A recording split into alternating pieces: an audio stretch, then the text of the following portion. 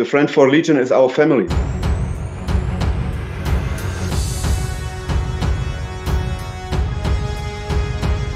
I thought you were going to say 53 then, and then I'll be like, yes.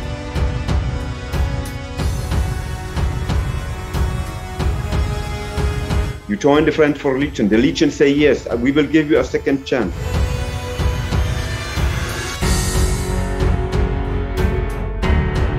Ten percent of our officers are coming from their own ranks, so they are foreigners. They give you free beer, basically.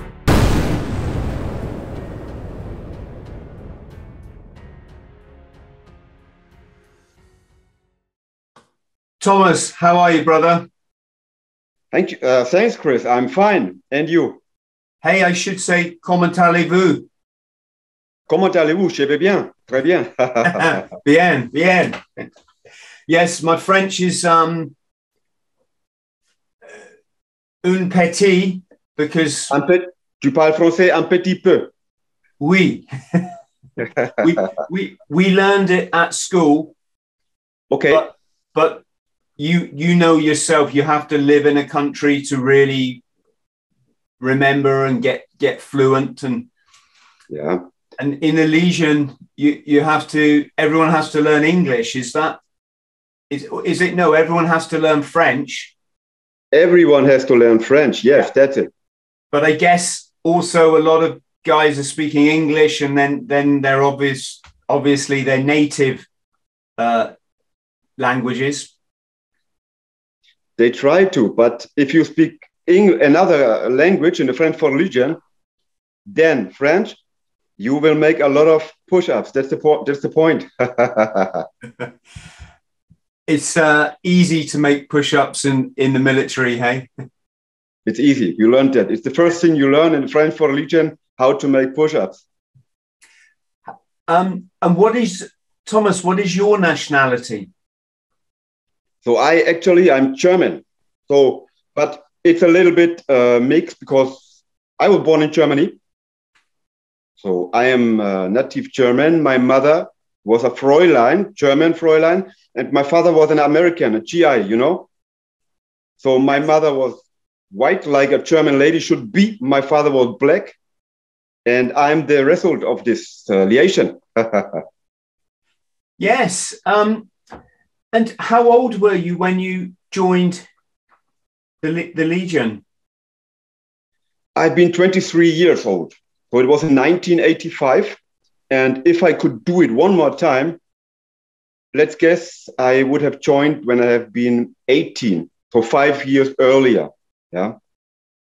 And why is that?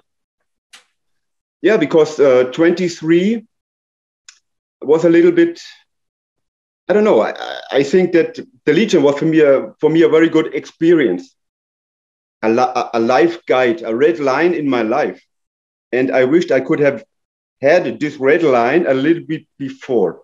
You know, um, yeah, there was something missing. You know, there was a gap. Yeah, I I was 18 when I joined the Marines. Mm-hmm. Um, but now it's it's all changed. It's a lot a lot of really older people joining. Now you can join when you're. I think so, somebody put in the comments, but I think it's 32, which yeah. is is really old, right? I mean, you. I think at 32, I. Uh, you you're talking about the Royal Marines, right? Yes, yes. Listen, in the French Foreign Legion, you can join until the age of 39 and a half years. I thought yeah, you were gonna. I thought you were gonna say 53 then, and then I'll be uh, like, yes. Where no, do no. I sign? Where do I sign up? No, it's it's 39 and a half actually, right? And for for us English people, we have a very romantic view of the Legion because we we grew up, or my age did, with. Um, do you know the novel Beau, Beau Geste? Yeah, yeah. You know, this uh, young man. He's from a very privileged background. He, he, he commits a crime or, or maybe he didn't commit it, but he has to escape. So he, he joins the French Foreign Legion and goes to North Africa. And yeah, that, that was our, um, that, that's the sort of stuff I grew up with. But I guess the rea- I mean, is the reality that lots of people join to escape a criminal conviction? Yeah, absolutely.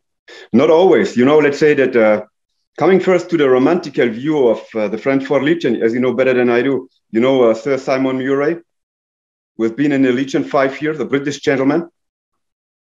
He joined. He, he also came from a, a privileged family. He was his parents have been rich, and he joined the Legion to come out of this, uh, I would say, it hamster wheel and go into the reality. And he was looking for a romantic part of his life, and he get that. He stayed five years, and then he he joined uh, the civil life.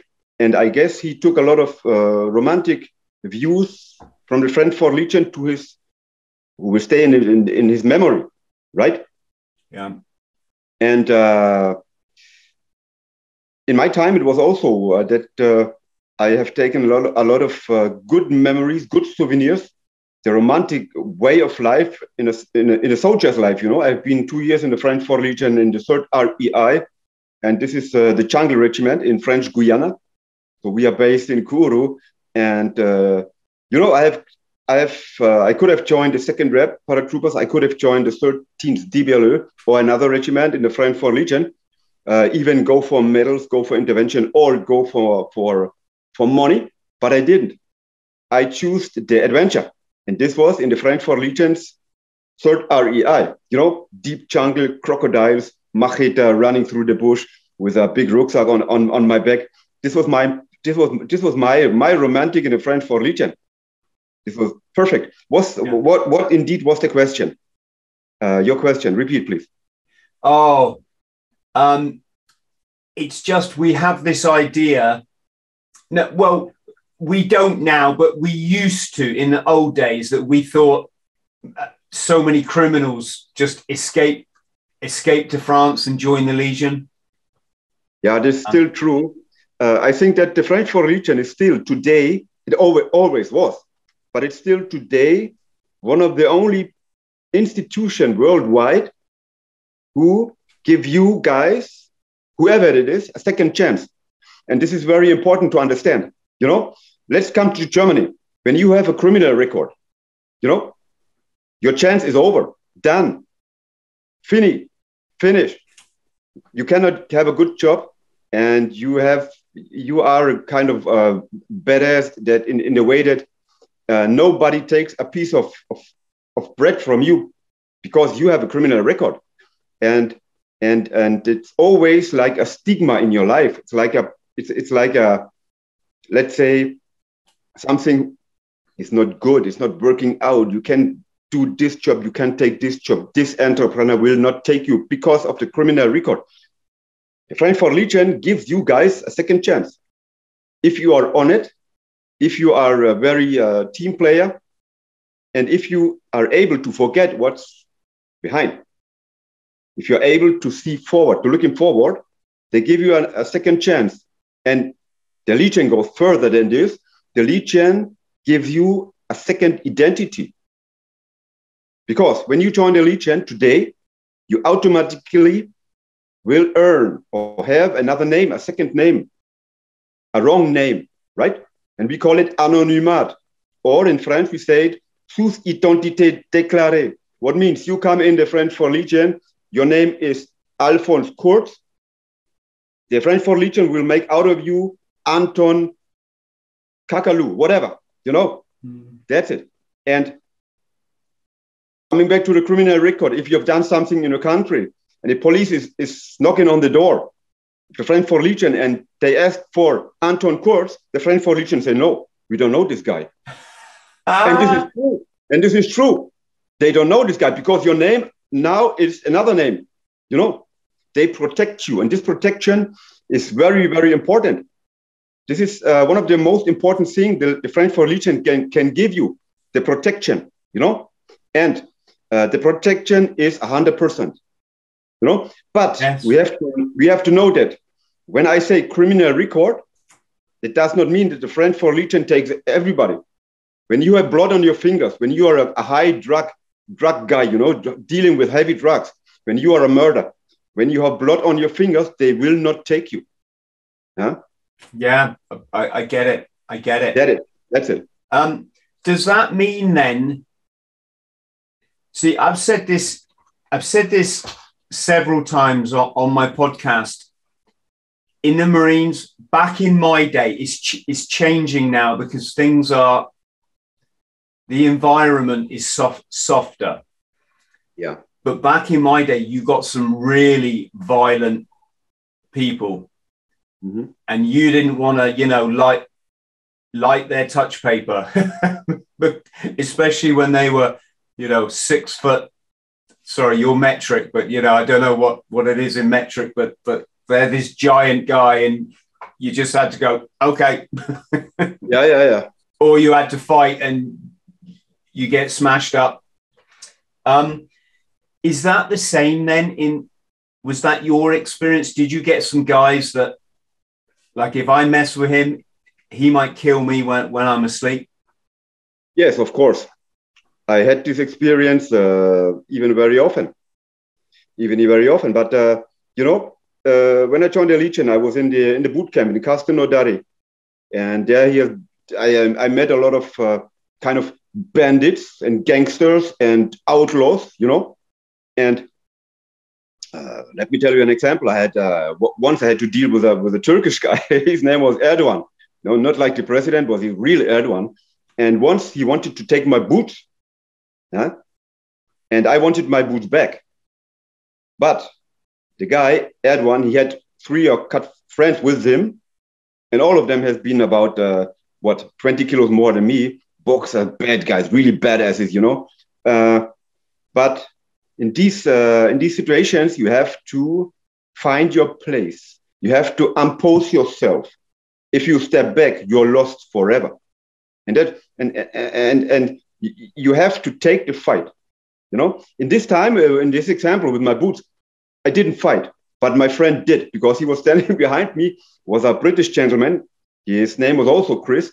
He was an ancient fighter from the falkland. He was in falkland and uh, he he made the things for me he did my job but he didn't give me a chance because he was too quick so he take he took he he punched the guys took my boots back, bring my boot, brought my boot back to me. Here, Thomas. And he told me, Thomas, never accept that, what, that one guy talks to you in this way.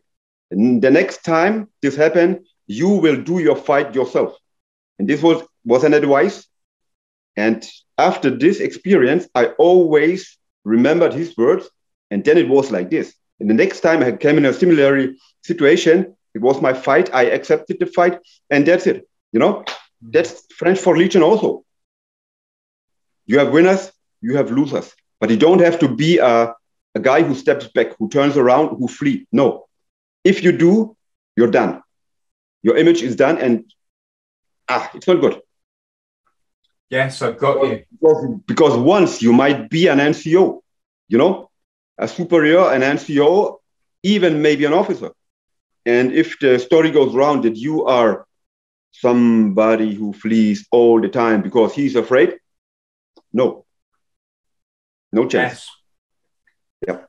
Thomas, you mentioned in South America. What was the name of where your base was? Kai Kai Kaikora? Ko- Um, the French Foreign Legion, they have one regiment. It's the third REI, Troisième Régiment Étranger d'Infanterie.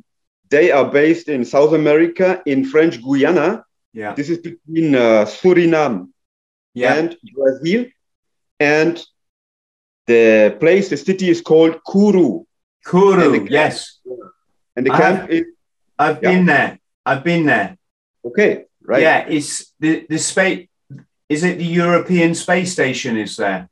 Yes, the ESA is the European Space Agency, and this was was also one of our main projects to protect the Ariane rocket. You know. Yes. Yeah. I, I loved South America. I've, I've traveled. I've traveled every country in the Americas, north, central, and south. Well, at Nice. least at least on the mainland, and I camped I camped out in the jungle in French Guiana. Mhm. And I also went to Devil's Island, you know, the, I, the penal yeah, colony. yeah. Great. I've been uh, a lot of times here. It's incredible, isn't it? The history. Genuine. Yeah, absolutely. Yeah. And I guess you know the story of Papillon. yes. Yeah. Papillon with uh, Steve McQueen and Dustin Hoffman. Yes. Yeah, I, I- guess this is it's a true story, and I think one of some scenes has been turned uh, on the Devil's Island there. Yeah, and I have been there several times, and I, I saw the old buildings. You know, very impressive. Yeah, I saw on the floor in one of the death cells, the solitary confinement, Papillon had he chiseled his name, said Pat Papillon in, in the floor. It was incredible. incredible. yeah. and um, what is the training like? Where where did you train? And I'm guessing it was pretty tough. You, we are talking still about uh, South America, don't we? Uh, no, about the, the Legion itself. Where do you go to train? Where do you do your Oh. training? this depend on in which regiment you are serving you know in the in the third REI in south america we trained in we had a jungle warfare school there called CFE, centre entraînement forêt équatoriale and it was in a deep forest in a camp we called matei camp matei. Yeah. It's uh, on the Ma- mataroni river. And this was our basis camp. And there we trained to deal with all kind of dangers you know. Yeah. Uh, survival, uh, jungle warfare, and all this stuff. This was our basis training, basis training camp. And then uh, the next, I spent two years there. And then I was ordered to join the second REP. It's Deuxième Régiment Étranger de Parachutistes. These are the, it's the only paratrooper regiment the French Foreign Legion has. And there we have the basis camp in Camp Raffalli in Corsica. But from there, we started all over the world to train, you know uh, my company was uh, was the domain of my company. I was in the first company was um, urban warfare, so war in built-up areas. So we trained a lot in Germany in Hammelburg, because in Hammelburg there's one city called Bonnland, and this is the ideal place to train in in in uh, urban warfare. Yeah. Yep. And then, of course, we go to, we went to France to all the to the big uh, shooting ranges, La Courtine and uh, and uh, I, uh, Suippes and all and, and all the big places where you can shoot all kind of calibers, where you can make maneuver with the group, with the platoon, with even with the company, and use all the weapons you have, you know, in a company. And what um, what weapons do you train with? all kind of weapons you know when you when we take the case that you are in a normal fighting company you train uh, let, let's say we had the pistol MAC, uh, PA MAC 50 then we have a shotgun uh, 12 gauge then we had of course the FAMAS FAMAS were just coming out when I joined the Legion uh, before it was the Mas Francis FAMAS then we had uh, the machine gun AA52 uh, sniper rifle FRF1, then FRF2. The difference is the bigger caliber, you know. And also, uh, when we come to the sniper rifle, we had the McMillan, yeah, and the Hecate 2. These two arms or two weapons are sniper rifles you can shoot in a range up to 1,500 meters, and the caliber is the caliber 50. And we also had the Browning machine gun, caliber 50. We call them Doucet 12.7. Yeah. And of course, in the fighting company, we had mortars 81, mortars 81, and the last uh, the last equipment we had we have earned was the Eryx. Eryx is a very powerful anti-tank weapon, shooting in a range from uh, let's say 50 to 600 meters, and this is incredible. The Eryx uh, warhead destroy every tank you every tank in the world. You know, this this warhead destroys bunkers and and and buildings and tanks, of course. Yeah. Thomas, can can you talk us through uh, from the moment you you go to the recruiting office, what what happens then, and how how does the training unfold? Yeah, of course, I can take my case, and it's still the same today. uh, in French, we have uh, about 11 uh, PILs. PIL is Poste Information Relations Étrangères, Recruiting uh, Information Desk Office. There you can recruit uh, when you want to join the French Foreign Legion. So we stayed, I stayed uh, one week in Strasbourg. Is the place I joined the French Foreign Legion. Then after one week, you are transported to Aubagne. And Aubagne is the first RE, it's the mother house of the French Foreign Legion. And in this mother house, you have the company who is responsible for the, the new legionnaires. You stay there for, let's say, three weeks, and you have to make all the tests, you know, physical tests, uh, sport tests, medical tests, and also background check from the Gestapo. Gestapo is the, let's say, uh, uh, how can I say, military intelligence, military intelligence. And when you're through, when sportive and medical and background from the intelligence is good, you will be sent to Castelnaudary. And there you make your boot camp. And it's for three months, at least for 17 weeks.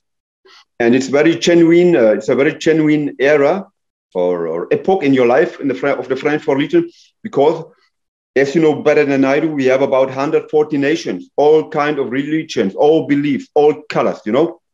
And it's very tough. It's very tough because we had to deal with a guy, with guys who have never been in the army, who don't know that a weapon can shoot, and we have to deal uh, with a gentleman who has been already in, in, 10 years or 15 years in their army. So we have to make a, we have to make a kind of group analysis. And then you do your boot camp. When the boot camp is almost finished, in the oh, let's say after the first three weeks, you earn your Kepi Blanc.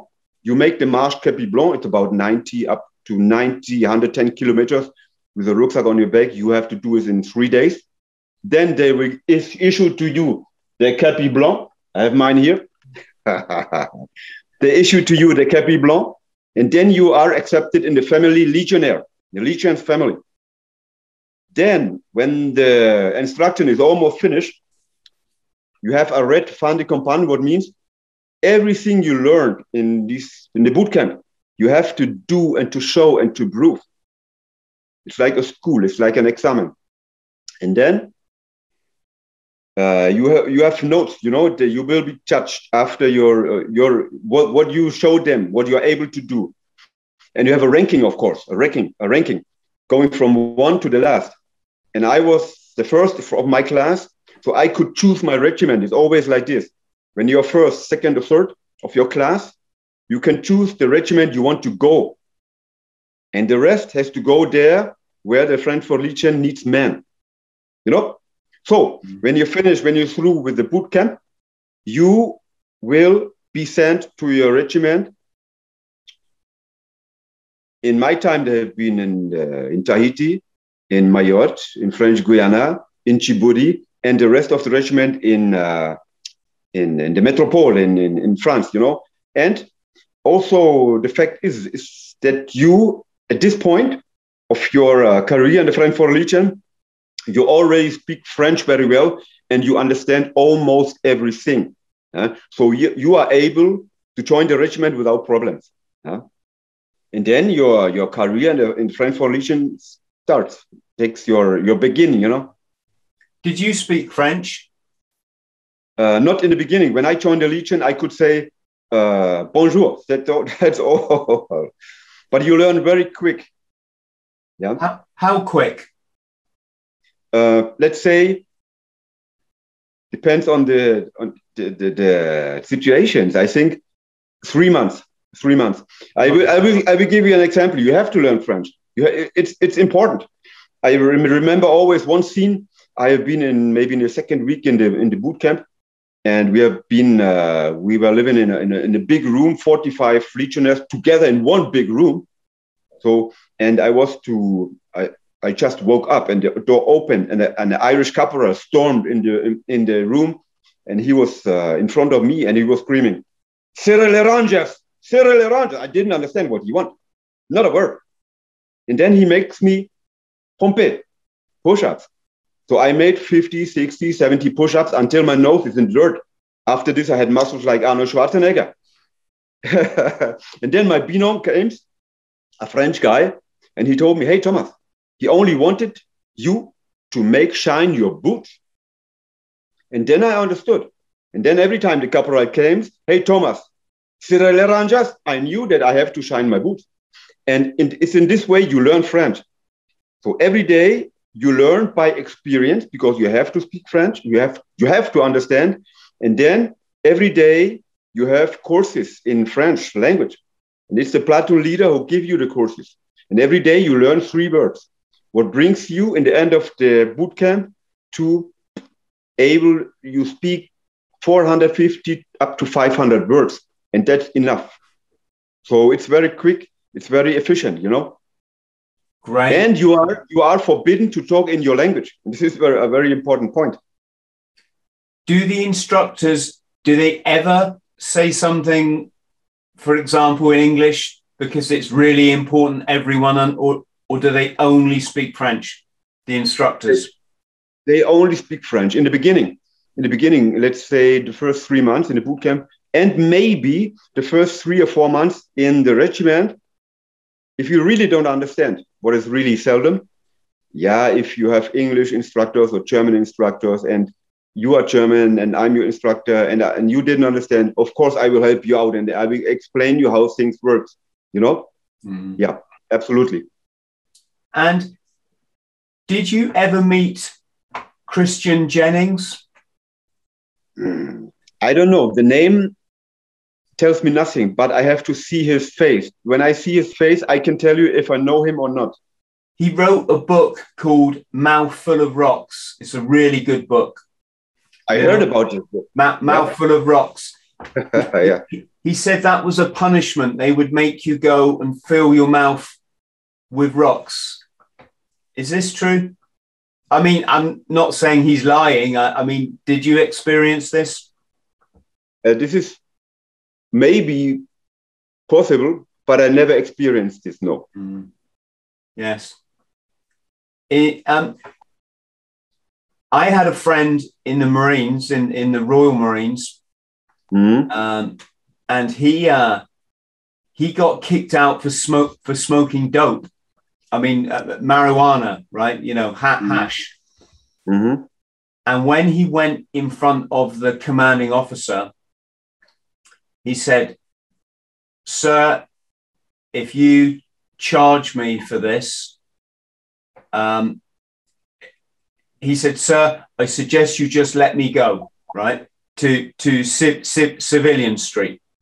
He said, But if you insist on charging me, I will write a book about the Royal Marines and I will tell the world what really happens in the Royal Marines. And the commanding officer went, You're dismissed. this is this, for anyone listening, this is a true story. I'm not going to say the chap's name, but some people will know the guy I'm on about. I, um, I was in training. No, no, no, no. Sorry. He said, Sir, I served with the Foreign Legion and I smoked hash every single day. No problem. He said, I served with the Royal Marines and I smoked hash every single day. No problem. You know, it was never a problem. nobody knew he was a very, very good soldier. Um, mm-hmm. and then when he said this to the commanding officer, the commanding officer said, "Go." so yeah. I wonder, is um, is is it normal to smoke hash in the in the Legion, or is it is it against the rules? Um, it's not normal. It's not normal. Of course, uh, you know, in the French Foreign Legion, it's not it not it's not a Boy Scout school. You know. Yeah. Uh, it's really it's for men, and and of course we were drinking alcohol a lot, maybe maybe too much, but this is normal because even you have been in intervention, in intervention norm most of the time you cannot drink you have no alcohol you have no drugs so it's intervention when you're in the garrison this is another world so when you are in the world in your garrison you want to go to operation when you are in operation you want to be back in a certain point in a certain way in the garrison you know if you're here you want to be there if you're there you want to be here when you are in the garrison of course uh, legionnaires take, smoke hashish, smoke marijuana. Uh, they do it most of the time secretly, and most of the time it's okay. It's not a it's, it's not a, a problem made out of this. And of course, when legionnaires are in the garrison, they drink.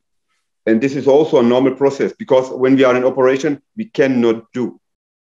And when we are in the base, in our camps, at home, not in operation, it's a little bit boring, you know, because our life is going to operations. And yes, in the French Foreign Legion, as in other in every other army of the world, we drink.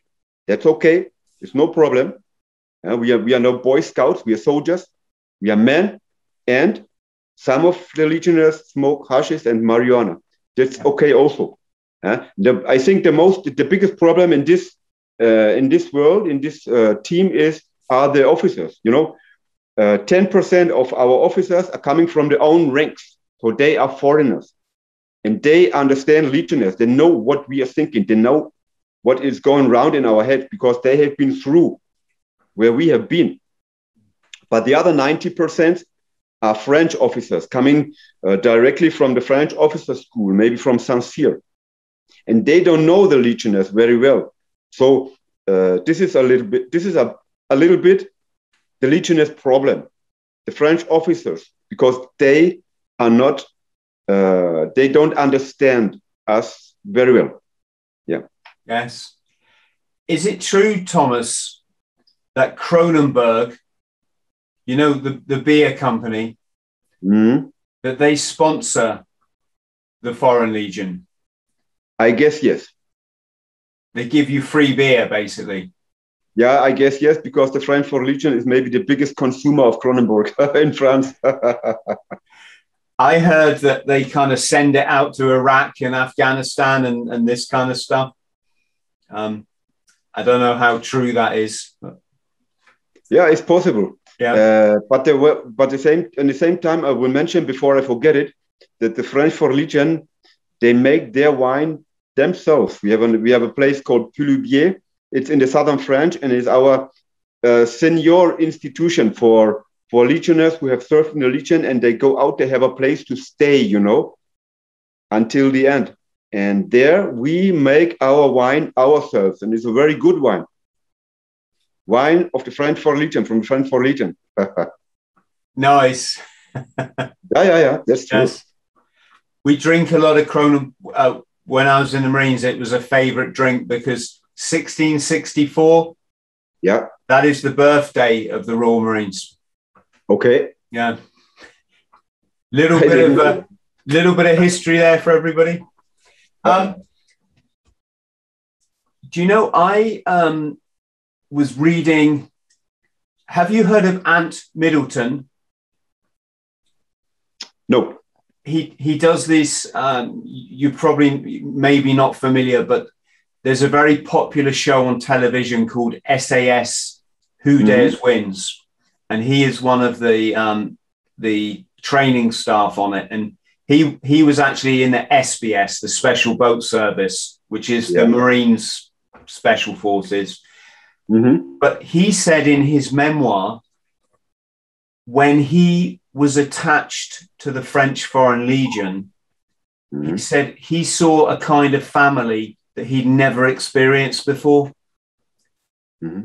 He said at the end of the day, everyone would have a beer and they would come around maybe the fire and, and sing sing songs. Um, it sounds incredible. Yeah, it's incredible. We call ourselves, we are a big family. You know, one of our slogans, it's, it's a motto, it's Legio Patria Nostra. The, the French Foreign Legion is our family. You know, imagine you left your country, you're coming from India. You have a criminal record. You want a second chance. You join France. You join the French for Legion. The Legion say, yes, we will give you a second chance. So you have lost your old family and you're looking forward to have a new family. And then your new family is the Legion. We're coming from all around of the world, you know, 140 nations, all religions, all beliefs, as I told you. And yes, of course, this makes us strong. And this is the biggest, uh, this is the biggest uh, force of the French for Legion is the solidarité, you know, stay together as one, as a big brotherhood of arms. Or, yeah, that's it. Yeah. Yes. I'm just looking yeah, yeah. for. Excuse me, Thomas. I'm on the internet. I'm just looking for some name, some a name of somebody I want to ask you, but um, yeah, yeah, yeah. Can you tell us what about swimming? What about swimming tests in in your training? Do you have to be a good swimmer? I have always been a good swimmer, but when I joined the Legion in '85, we don't have had a swimming test. Now they have, but to do this is very easy. You only have to be able that you can swim 25 meters without floating it, and that's it. So this should not be a hindrance or a problem to join the Legion. Yeah? Yes. And in my time, in my time, it was that if a legionnaire couldn't swim in the boot camp, they teach them how to swim. So once a week, they took all the no swimmers, brought them to a swimming pool in, in the town, yeah, and they teach them how to swim. So when joining the, the regiment, everybody was able to swim, no problem. Mm. Easy going. Yes, there was um, a TV program. Have you ever heard of Bear Grylls? No. No. So I mean, you, you wouldn't have, but he's quite a quite a famous um, TV celebrity here, and he's he's mm-hmm. been in the SAS.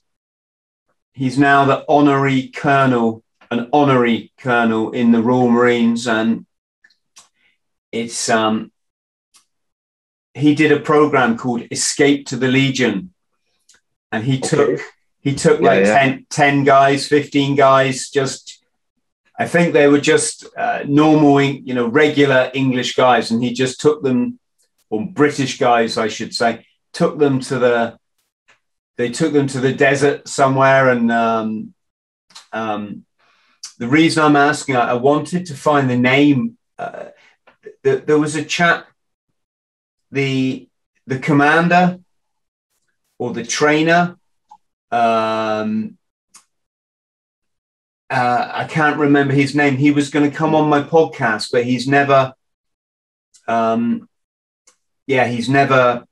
Uh, we've never managed to to to to get it together. I, I wanted to ask you if you knew this guy because he's apparently really famous. Um, just bear with me. Yeah, yeah, but no problem. Take your time. By the way, I can tell you that I worked with Royal Marines also together not in the army, but uh, later then when I have been in the private security. So I spent four years in Saudi Arabia to protect the European uh, embassy there. And we have a, uh, been two teams of 14 men and about uh, four or five guys worked with me there has been in the Royal Marines. And I can tell you that you guys are really tough. You, you guys are good, uh, are good. And I trust you 100%. Really good, good job done by them. Yep. Yes, Yes, thank you. Was was did you say Saudi Arabia? Yes, in Saudi Arabia. How was that good fun? Yeah, absolutely. We have been there for four years, and our job was protect the European Commission to Saudi Arabia, Riyadh. Yeah. And um, did they? I bet they paid you very well. Oh, uh, yeah. Not not like they paid uh, private security in Afghanistan and Iraq. But it was a, um, how can I say it, a stable job. We worked four years. We had a contract was renewed year by year, and we worked there for a British company, security company. It was good. And once also we had the opportunity to protect uh, Bill Gates when he was there to to buy the Four Seasons Hotel. so he was there for three days, and we uh, we protected Bill Gates there. Yeah. Okay. Yep. Yes. I'm not going to say anything about that, but some of my uh, some of my viewers will wish you didn't didn't protect him. Good. No, no. Stop. Stop talking about this. yes. Yes. Stop. Exactly. Yeah. Um, and what about combat? Did you experience much actual fighting? Um, I, I can say that I, st- I spent 17 years in a legion and maybe we did less combat that you will think by yourself. We had combats, of course, but not like, of course, like uh, our our um, more majorum, our older legionnaires we know have have experienced in uh, you know in the big war like Indochine, Vietnam, like Algeria war, like Chad war, and, and all this stuff. We had you know with with with with the time who comes and pass away, we have other we have other uh, war field, you know, other theater of operations. And I can say that maybe my my biggest experience in combat has been, of course, uh, in Bos in the Bosnia War, where we uh-huh. stayed uh, 92 to 93, uh, like the United Nation Protection Force. We spent six we spent six months there. Afterwards, we have uh, small intervention in, uh, in the Central African Republic against poachers, and then we have been deployed in uh, in Djibouti. We have been deployed in in Congo, in Zaire, in Brazzaville. You know, yeah. and yeah, it was good. It was tough. Yes, sometimes it was very tough. So originally, I'm I'm speaking for our friends at home now. Um, I'm guessing that the Legion was for for the French colonies, wasn't it, in Africa, to to support them, to protect them, to mm-hmm. um, you know have a rule of law or or, or or whatever. Did did the Legion get much smaller when the colonies went went back back to the Africans? Yes, of course. Actually, we have about uh, eight thousand five hundred legionnaires, active legionnaires, and uh, I, I, guess that in the Algeria War it was uh, maybe five times more, you know. And then uh, when the Algeria war was finished, then uh, the French Foreign Legion gets smaller and smaller ev- every year until the effective of uh, the strength of 8,500 men. Yeah, and I of course when I when when I came to uh, interventions, I forget. I only spoke for my case for my company. Of course, the French Foreign Legion, my time has been deployed in also in Somalia. Has been they have been deployed in Cambodia. They have been deployed in Rwanda after the genocide. And uh, after my time, they have been deployed also in Ivory Coast, in Ivory Coast, and of course in Afghanistan a lot. So my regiment has been uh, four times in Afghanistan. Eh? Yeah, was that yeah. was that um, was that after your time? Yeah, after my time was in 2008, 9, and 10. Yeah. And did you, sorry, Thomas, did you say you were in Bosnia? I have been in Bosnia in 92, 93, yes. Was that at the height of the trouble there? Yes, of course. The, we have been deployed at the airport in Sarajevo, and the city was uh, surrounded by the uh, Serbian fighters, by the Chetniks, and it was war. It was war, yeah. Yeah. Did you see any signs of these these these genocides? um, yeah, what is we have to make make clear what is the what is the termination of genocide? Yeah, uh, not like it happened afterwards in Srebrenica, you know, where the Serbians killed about uh, I, I, guess seven thousand uh, Bosnians, but uh, we have seen, of course, deaths every day, every day. So our main mission was uh, the, the crossing the, the crossing mission. So uh, imagine that Sarajevo has been surrounded by the Chetniks, and the only uh, possibility for the Bosnian people to survive has been the airport. Uh, so in the nighttime, they tried to come from Butmir, crossing the airport, going into Sarajevo to bring ammunition, to bring food, to bring water, to bring things to survive, and weapons. It was the only possibility to survive. Uh, and uh, our job has been to keep the Bosnians away crossing the airport from Butmir, going into uh, Srebrenica to to support their brothers, you know, who are fighting there. And this was really dangerous. And uh, every night we had about we had about uh, seven, eight, nine deaths. Not not the Legion, but the Bosnian we we picked up, and they had about uh, 35 up to 45 wounded people every day, and people were have been dead every day. Once I remember a scene, I was sitting in my in my armor carrier, in my armored carrier, and I had a I had a, a boy on my knee, right knee, a, a, a girl on my left knee, both about seven years old. Her mother was sitting opposite to me, one meter away from me, and she had three bullets in her chest. And I knew the mother will die in two or three hours. She will be dead and there was there was what what what could I say to the boy and to the to, to their child? Everything is good. It's just war. It's just bullshit, you know. And and yeah, this is this is also kind of genocide because it happened every day. You know? Yeah. Did you suffer afterwards? Did you suffer with trauma? I don't know. I don't know. I think uh, for me, myself, and I, maybe a little bit. Mm. In the beginning, it was very strong for me. It was very uh, uh, curious to be back in a civil life. And I remember the first scene where I doubted a little bit if I have PTBS or not, a trauma. And it was a situation I was in. I've been in a supermarket. It was in 2002. So uh, I left uh, in 2002. And later I was once in a supermarket. And my wife told me uh, to buy detergent, you know, to buy dog food and all this stuff. And I was standing in the supermarket. And finally it was yeah, but there have been detergent, red ones, blue ones, green ones, dog food, this kind of dog food, this kind of dog food. And I get crazy and I thought by myself, fucking hell, what I'm doing here. And I wished in this moment to be far away from people, far away from the civil persons. I wished in this moment to be back in my unit, have a rucksack or a parachute on my back, but not here buying nonsense things, you know, being in a strange world I could not understand, and the people did not understand Thomas Gast. So for me, it was kind of tra- a trauma in the beginning. And once it was the second big thing, I thought I saw a movie, was with uh, I guess with Mel Gibson. I, I don't remember the I don't remember the, the, the name of the movie, but it was in soldier, U.S. soldiers fighting in Vietnam. It was nothing. I looked at the movie. I went to sleep, and afterwards, in the nighttime, in the morning time, my wife told me that I was screaming in nighttime. And then, then I was uh, boxing my pillow, you know, and I was sweating and I was, you know, I was not me, myself, and I.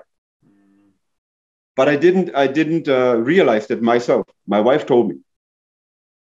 But later, then, with the time, steps back, steps back, step back. I think for me, in this moment where I'm sitting and talking to you, everything is okay. But we never know. No. Yeah. That film was We Were Soldiers Once and Young. Exactly. And uh, there was a unit surrounded by uh, flying in with uh, with Bell with Bell helicopters, yeah. and they have been uh, in a big ambush, a big fighting, and yeah, I know, I remember now. Yeah, yeah, it's a fantastic book for anybody who who likes to read military history. Um, Colonel Hal Moore, he's he's dead dead now. Yeah. Um, uh, he had a chap, one of his men was Rick Rescorla, who died in the World Trade Center trying to get the people out. Yeah. Um, but that book is just, it's, it, it, it's just incredible. You know, every evening, because they're surrounded by jungle and the, the Viet Cong are just creeping towards them all the time every mm-hmm. evening for two minutes, he ordered his men just to to let rip into the jungle with e- everything that they had, just in the trees. I understand. The yeah, the next morning when they sent out patrols, there's all these dead bodies just, you know, in the trees everywhere. It's just, you know, obviously an awful situation, but a really powerful book, really powerful. Mm-hmm. And Thomas, you you look very fit, very strong. You know, actually, I am sixty, Whoa. and I I'm uh, I'm a big outdoor fan. I make I make survival. I make outdoor. I I really like to move. I just coming back from Norway, where I have a meeting with friends, and we made out of a, a good YouTube clip out of this, and we have been with a rucksack on our back, climbing the mountains yes, I make sport every day as much as I can, and as, as much my my my body still supports. And you know, once Legionnaire, always Legionnaire.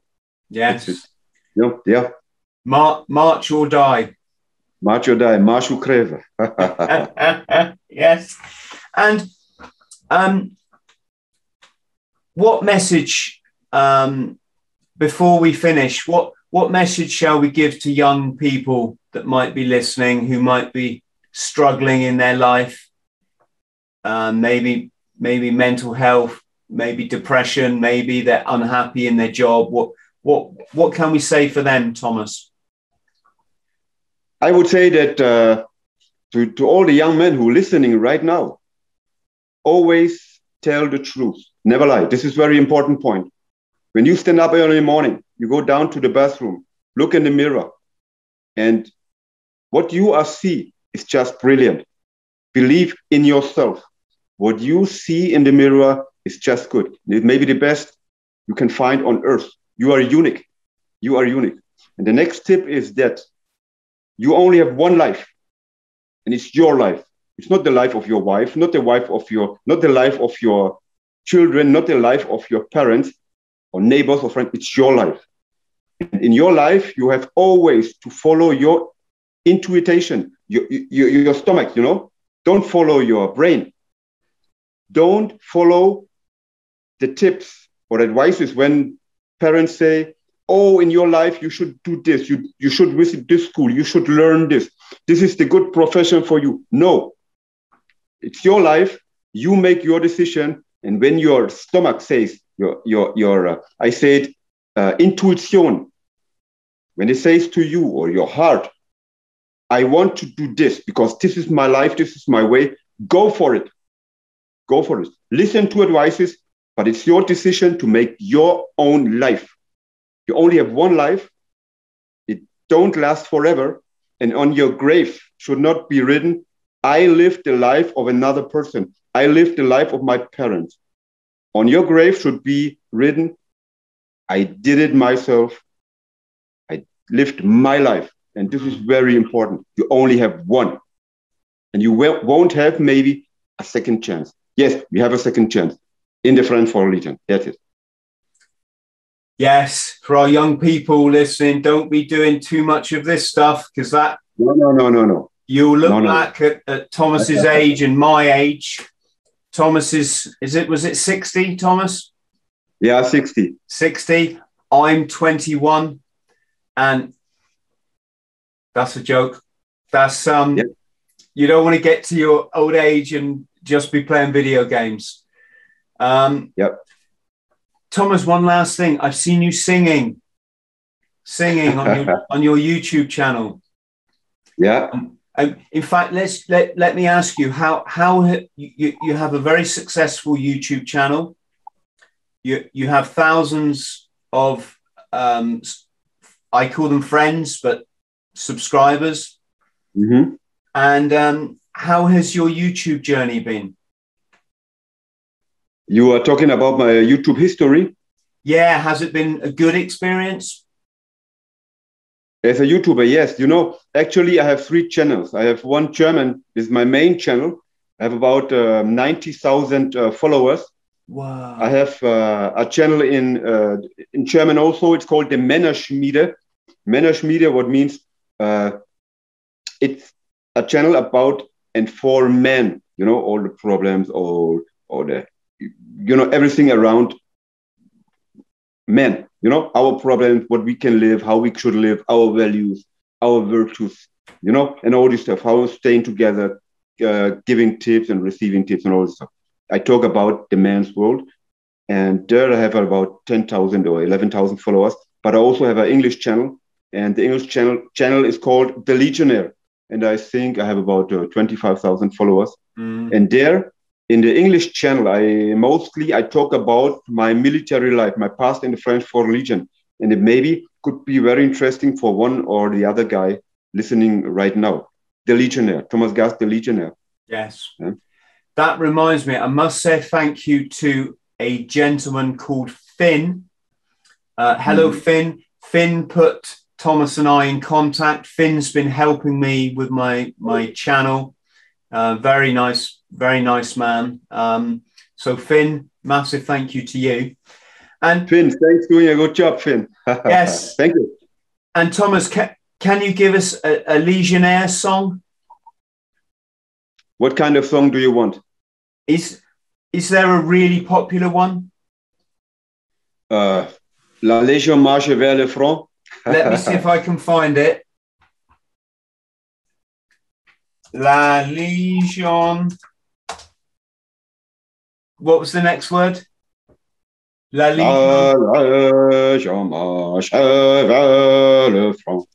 en chantant nous suivants. Héritiers de cette tradition, nous sommes aveugles. This is the song of the second REP, you know? Yes. And it's a, it's a former song from uh, come from Germany. It's the it's a former song from the Waffen SS. Yeah. Yes, because the connection there is that a lot of SS officers went uh, or men went Yeah. to join the Legion to fight in Vietnam. Yeah. I think I guess that about every second chant or, or song we have in the French for Legion has a, a German background, you know, has a German background. And or, and we took the, the chant coming out, coming right from the Waffen SS or from the Wehrmacht. We keep it with the melody, but we put another text and we, we and we break with the spirit because we don't like Nazi spirit. It's not good. It's not healthy. We have Yeah. our spirit, and it's the spirit of the French for Legion, Esprit Légion, and this is very powerful. So we don't identify with uh, with any other army, and not with the Waffen SS. Of course, not. We are not. No, no, no, And, uh, no. And one more thing, I, I just came come to my memories because before we, we talked about French colonies, you know, and the French for Legion. But uh, meantime, you know, uh, the the time has changed, changed, and the French for Legion overall, right now, today, is an army, a tool of Europe, you know, and we are making more and more uh, humanit- humanitarian uh, missions, operations. It goes uh, pair with intervention and uh, humanitarian mission. So it's always li- a little bit the same. So when the French for Legion, the, the Legion after Second REP, made their big deal in uh, Zaire, Operation Bonite, it was to jump with 700 men over Kolwezi and freeing millions and millions of people who have been in the hand of 4,000 Katanga soldiers. You know, Mm. in Brazzaville has been the same. We have freed hostages, you know, held hostage by Cobra milice and and and and and you know. So the French for Legion is not there to go to a place to fight for only for French uh, colonies and for the French purposes. The, Fr- the French for Legion is a tool in hands of the European people. You know, this is Yeah. very important. It's a very important messages. Uh, and the French for Legion can fight. This is the main the, the main, our main reason to exist. But the French for Legion can also build. They can build bridges. They can build. Uh, they can uh, do everything. Help people everywhere in the world. You know, to clear clear means IEDs to go to Haiti after the earthquake, after the tsunami in India and Sri- in Sri Lanka. And this is also French for Legion. We say fighter and bâtisseur. You know, Yes. Did you have the we have the weapon in one hand, but the shuffle in the other hand. Yeah, yes, yes, und- understood. Did you parachute, Thomas? Yeah, I've been 15 years in the second REP, and the second REP is the only parachute uh, regiment uh, in the French for Legion. Yes. Mm. Yes, I bet you. I bet you've done a lot of um, a lot of jumps. Oh, maybe yes. Uh, I've done about 320 uh, automatic jumps, static line jumps, and about uh, I was I, I was not a free faller, you know, but but I did about uh, 25 uh, jumps in free fall, you know. But uh, yeah, it was good.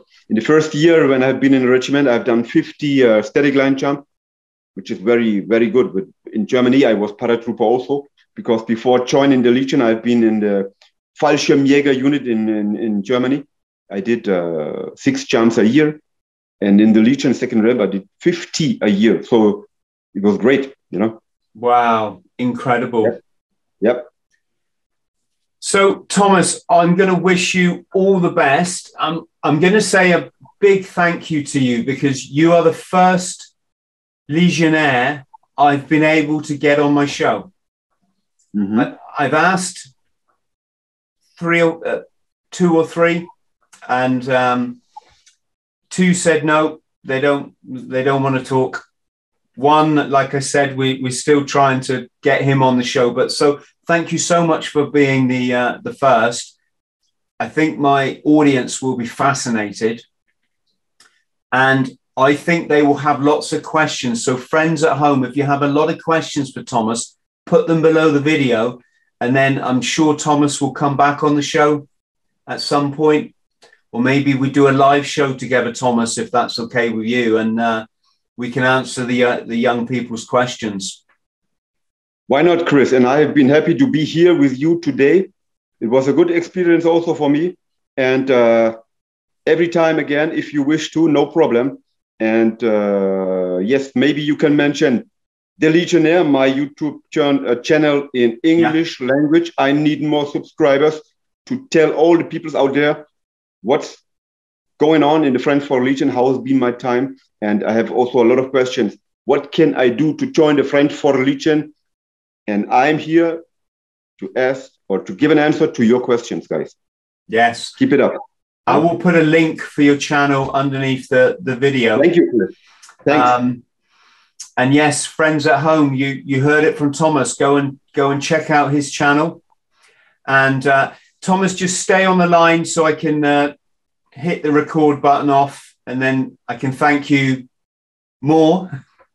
Um, to our friends at home, big love to you all. Look after yourselves. I hope you find this fascinating. If you did, could you please click like on the video and make sure you're subscribed because YouTube has been unsubscribing lots of people from the channel. We don't know why, they just do. Um, and we'll see you next time. Thank you.